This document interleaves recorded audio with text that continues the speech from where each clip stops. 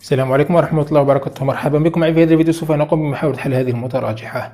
لدينا اثنان جذر اثنان.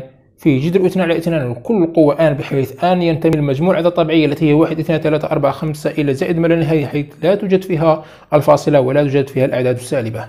ما بها؟ أصغر تماما من العشرة قوة ناقص اثنان. يمكنك إيقاف الفيديو ومحاولة حل هذه المتراجحة. أما الحل فهو كالتالي لدينا اثنان في الأصل اثنان قوة واحد لأن لدينا أي عدد في الأصل هو ذلك العدد قوة واحد.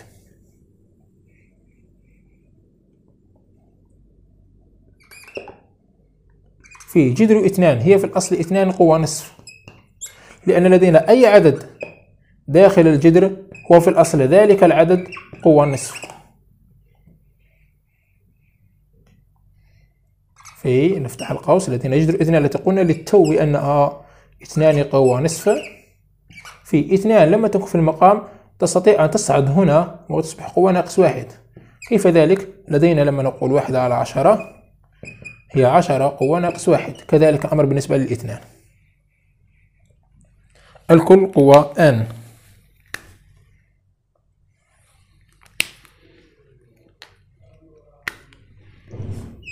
أصغر تماما من العشرة هو الناقص اثنان. الآن سوف نقوم بإدخال الآن هنا كيف ذلك؟ لدينا خمسة قوة ثلاثة الكل قوة أربعة فماذا تساوي؟ تساوي خمسة قوة ثلاثة في أربعة وتساوي خمسة قوة اثنا عشر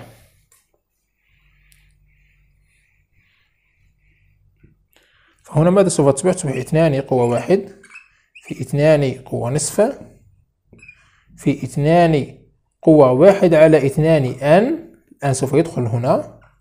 ويدخل كذلك هنا في اثنان قوة ناقص واحد ان أصغر تماما من العشرة قوة ناقص اثنان. بما أن الأساس متشابه فكل ما علينا فعله هو فقط أن نقوم بكتابته مرة واحدة والقيام بجمع القوى.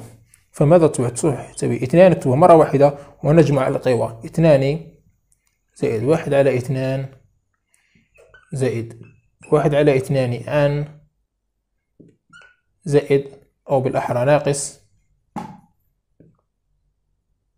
واحد أن. ما بها أصغر تماما من العشرة؟ هو الناقص اثنان. والآن نقوم بتوحيد المقامات في القوة هنا. نلاحظ أن المقام المشترك هو الاثنان. فنضرب هذا الواحد في الاثنان ونقسم على الاثنان.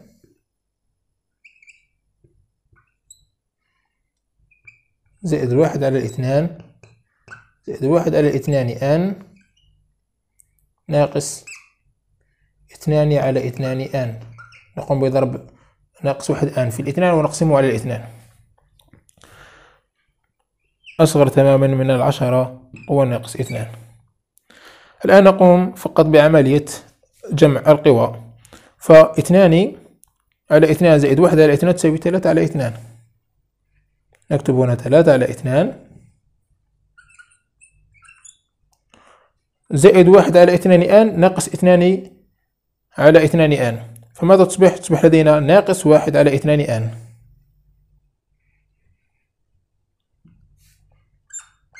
ناقص واحد على اثنان آن.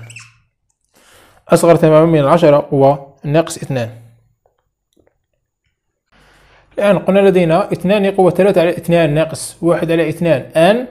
أصغر تماما من العشرة قوة ناقص اثنان. ماذا سوف نفعل الآن؟ سوف نقوم بإدخال لوغاريتم على الطرفين.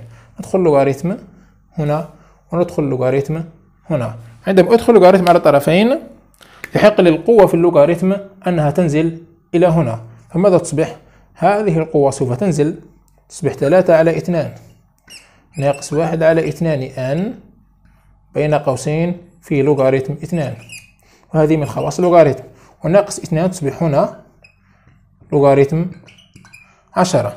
ماذا سوف نفعل؟ هنا لدينا هذا العدد مضروب في لوغاريتم اثنان. أصغر تماما من ناقص اثنان لوغاريتم عشرة.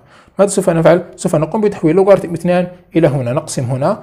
لأن هنا بضرب تحول إلى هنا بالقسمة فماذا تصبح؟ سوف نحول هذه إلى المقام هنا. فتصبح لوغاريتم اثنان هنا. وهنا يصير بمقدورنا أن ننزع الأقواس هكذا. فماذا سوف تصبح؟ سوف نقوم بتحويل الثلاثة على اثنان إلى هذا الطرف. فتصبح من هنا تساوي ناقص ثلاثة على اثنان. ونقوم بحذفها من هنا. الآن عندما نقوم بحساب هذه بالآلة الحاسبة سوف نجدها كالتالي.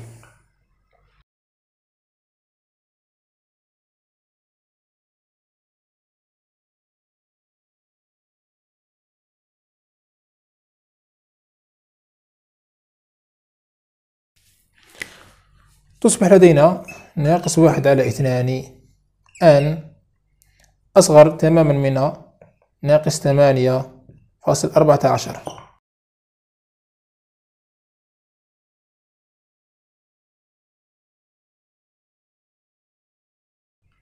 نضرب هنا في الناقص واحد. ونضرب هذا الطرف كذلك في الناقص واحد. سوف يتغير اتجاه المتراجحة لأننا ضربنا في الناقص واحد. في المتراجحة لما أضرب في الناقص واحد يتغير الاتجاه فتصبح بهذا الشكل. الآن ناقص واحد في هذه الناقص تصبح زائد. والناقص واحد في هذه الناقص تصبح زائد.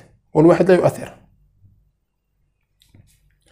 الآن ماذا لدينا؟ لدينا أن أكبر تماما من الثمانية فاصل أربعة عشر على الواحد على الاثنان.